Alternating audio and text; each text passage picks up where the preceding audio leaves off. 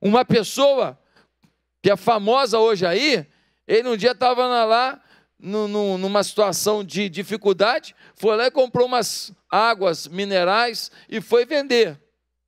E foi vender água mineral e foi lá e comprou de volta. E ali ele teve uma ideia criativa para poder vender. E ele começou aí a vender e a crescer. Depois ele fez um vídeo, esse vídeo viralizou. O cara hoje é palestrante e está rico.